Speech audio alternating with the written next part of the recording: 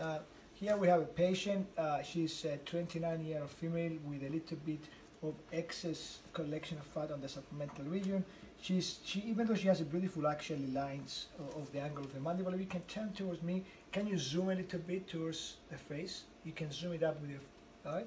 So you can see here that we're going to treat this minor fat deposit just to get the perfection with the application of the Kybella. The Kybella is a new actually injectable uh, lipolytic material that goes on the area.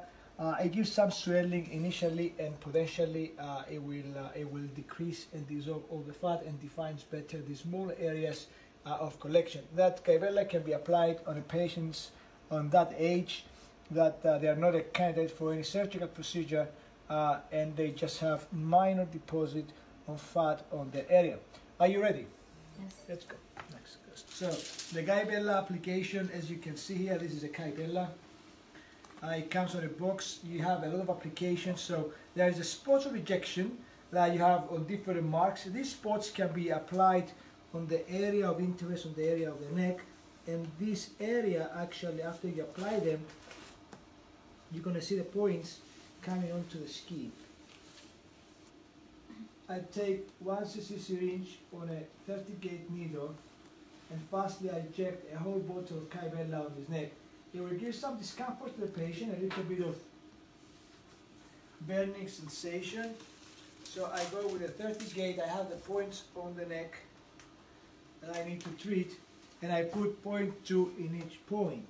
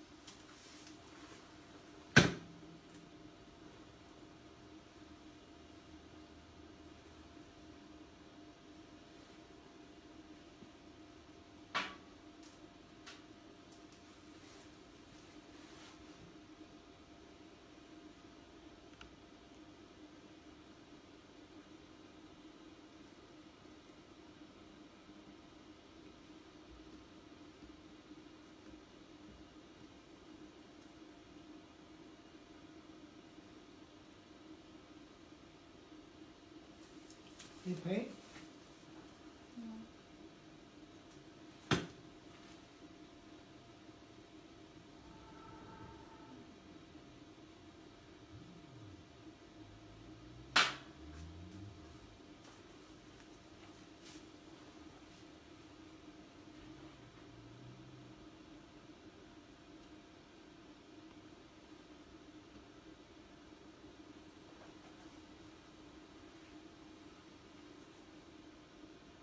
So I have completed the first injection of Kybella and as you can see you get some, we're done, we get some mild irritation and then in four weeks the patient comes back, so we do another one and we do total three and after that we're going to see the maximum effect. It takes up to four weeks. You get some minor edema on the area the first two days and then I clean out actually the marking spots. That's a Kybella application for fat lipolysis on the area of the submental region, all right? Uh, and you can see that the patient can actually wipe off these marks and she's ready to go back to her work. Then I'm gonna just sit down the patient and ask her a couple of questions. How do you feel? In the camera. Uh, I feel a little bit uh, burning. A little bit of burning sensation is normal. You may experience a little bit of swelling and redness on the area of the submental region. That's quite normal to expect. And of course, you're not going to see any results for a period of three weeks. You're going to see the first results in three weeks. We're going to repeat these injections in four weeks from today. All right. All right? And you can apply some ice if you have any problem with it. Mhm. Thank you. Mm.